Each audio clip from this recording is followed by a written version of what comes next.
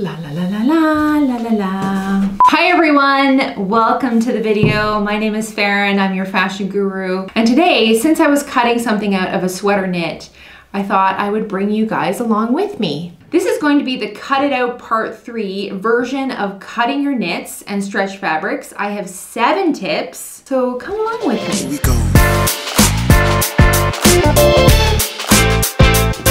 So this is my fashion studio. My name is Faren. I know that I said last week we were going to sew our knits. I kind of made a mistake because I need to cut before I sew, right? This is gonna be a great video, I know.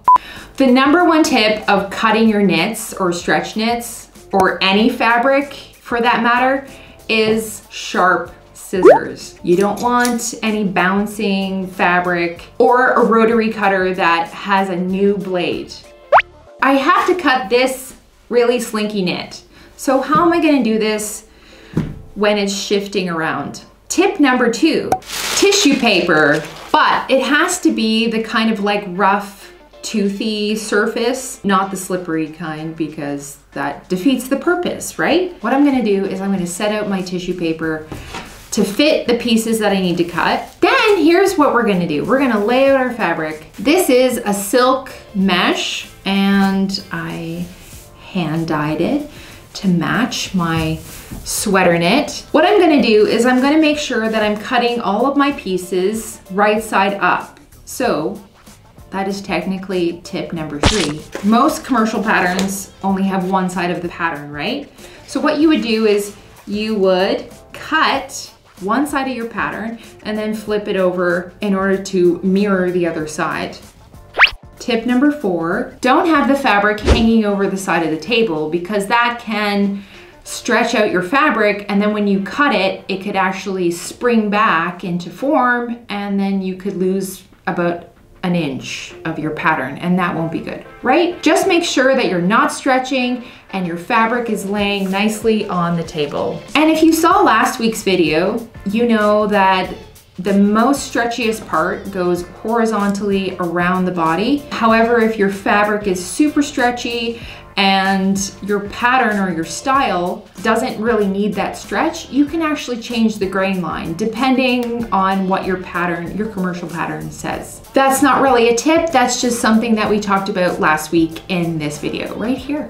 So you can go check that out after this. All right, I got you. Okay, that looks amazing. What we're gonna do now is we're gonna cut this out. We're gonna place our pieces. I keep moving my fabric. Stay there. Here we go. We have our pattern piece. okay, all things looking good over here. I have my pieces set out. Now what do I do? Tip number five is using really sharp pins when you're pinning your pattern to the fabric. You can use really sharp pins or ballpoint needle pins, which were made for knit fabrics. But since I have a very hard stock pattern, what I'm going to be doing is I'm going to trace out my pattern piece on a piece of tissue paper. I'm going to sandwich the tissue paper with the fabric and the other tissue paper.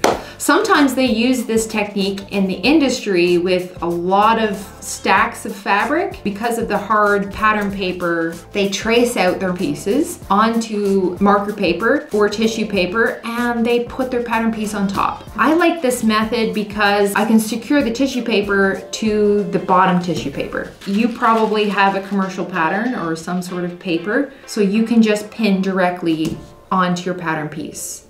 Tip number six is checking your pattern layout. The majority of the time, knits are directional, which means that sometimes your pieces have to be cut in all the same direction. Knits have a tendency to shine, you know, like the spandex. You'll get shading, which happens when pattern pieces are one way up, the other one is down, and one looks dark and one looks light. So always check your pattern layouts and make sure that you are doing it correctly. Moving on, we're gonna get to cutting this thing, I swear. This last tip is something I personally do with knits that are close fitting. I add three quarters to one inch extra on the vertical seams. There's a good reason. Commercial patterns they have negative ease. This could mean that you've cut out your pattern, you think that it's going to be great, and then you go to try it on and it is too tight. Or maybe it's too close fitting that you don't particularly want that close fitting knit. You can always cut off the excess later. That's just a really good tip. I have never heard this tip before.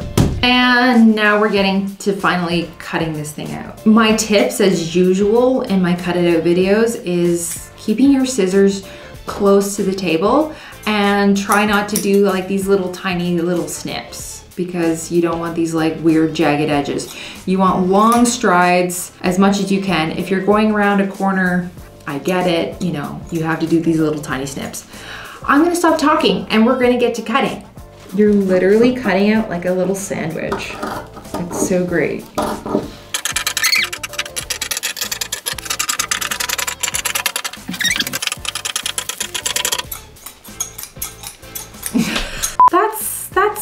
We're done. I mean, we're done for today. Next week, I'm not joking, we're really gonna get to sewing our knits without a serger. I have a few new techniques that you guys may not know about. Maybe you do, but you might wanna check out the video. Don't forget to subscribe and hit the notification bell and blah, blah, blah. How can I do this without sounding so stupid? Okay, bye.